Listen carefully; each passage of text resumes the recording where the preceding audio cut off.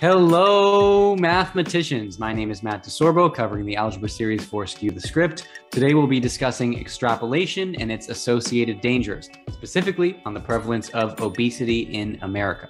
Without further ado, let's skew it. Welcome into Algebra Lesson 2.5 in our Skew the Script series. Today, we'll be ex- discussing extrapolation.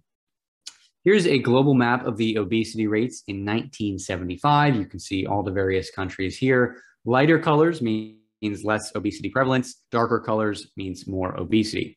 If we compare this to 2016, we see an alarming trend. There are much, much darker colors in 2016 versus 1975. In fact, America is among the highest rates in the world in terms of obesity. And this is something that Naturally, many public health officials are concerned about, and much ink has been spilled over this issue. For example, um, this article was published in 2008 by a team of public health researchers from Johns Hopkins and the University of Pennsylvania. We can pull out a, well, first, this is a very popular article cited more than 900 times in other research. That's as of 2021. And we can isolate this quote from the article, which says In 15 years, by the year 2022, 80% of American adults would be overweight or obese, and the prevalence would reach 100% in 40 years by the year 2048. Is there anything about that quote that sticks out to you? For me, it's the 100% in 40 years by the year 2048. And that leads us to our key analysis. Will 100% of Americans, all of Americans, be overweight by the year 2048? If you'd like to follow along, check out the link below. Feel free to print or download today's guided notes so you can work through the video with us. So let's return to that article and think about their analysis. Um, they essentially uh, constructed this data or have this data set with the x-axis of years, the y-axis of percent of US population that is overweight. The data is from 1976 to 2004. And naturally, the trend looks linear and positive. As time went on, the population of uh, percent of the population that was overweight increased, and it looks like it increased in a linear fashion.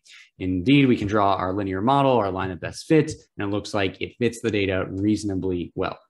The highest observed value in this data set was 65% overweight, which is important to note. And now we want to kind of estimate what is going to happen in the future because linear models can be very useful for making different sorts of predictions. However, as you can kind of see here, the predictions that are used are extending the line of best fit, the linear model, beyond our data. In this case, we are looking at when uh, the prevalence of obesity will hit 100%, every individual. And as we saw in the cited article, that is estimated according to this linear model, to be 2048 on the x-axis.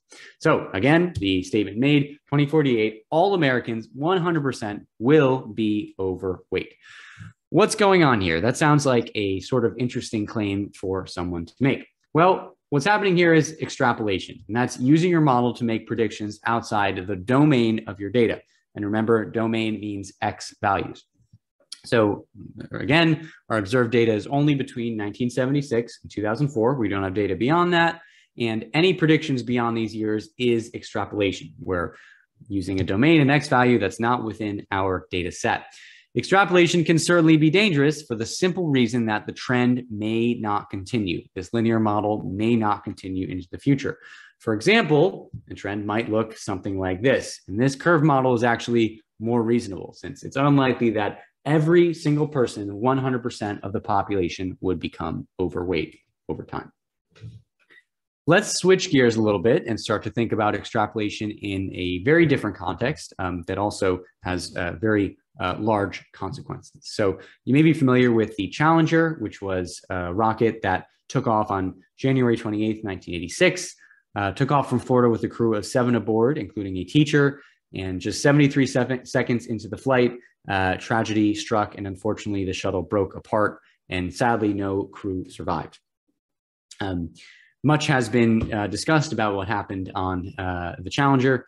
Um, most importantly, perhaps most importantly, is that the morning of the launch was unusually cold, 28 degrees Fahrenheit, and it created ice on the launch pad, as you can see here. NASA uh, decided to proceed with the flight anyways. Um, and what happened was O-rings, which are seals that sort of fit the rocket together, um, were broken in the cold temperature. they leaked fuel, and then the leaked fuel caused the explosion. You can see in the picture on the left here, black smoke um, from the O-ring failure at the start of the launch, and then the catastrophic and, and terrible uh, explosion in the, in the photo on the right. Here is uh, a chart of the outside temperatures and the O-ring damage on the y-axis, which higher is, is more damage, damage index. So we want that to be low. This is from prior launches of the Challenger, since it had many different practice runs. Each dot represents one launch. Um, and we see a clear trend. Lower temperatures tend to have more damage on, uh, on the, the O-rings in the Challenger. However, the temperatures on launch day were between 20 degrees and 30 degrees. So discussion question A, these 20 degrees to 30 degrees span is outside of our sample. It's outside of our domain. It's extrapolation. And the discussion question for you is Is it responsible to extrapolate to lower temperatures and stop the launch? Why or why not? Discussion question B, in general, in what type of situations should, should extrapolation be allowed? We've seen a couple of situations with predicting the prevalence of um, obesity or We've also seen uh, predicting the performance of O-rings in different temperatures. So kind of use that knowledge and answer in what type of situation should extrapolation be used or avoided. That's all for today. Thanks for joining, and we'll see you next time on Skew the Script.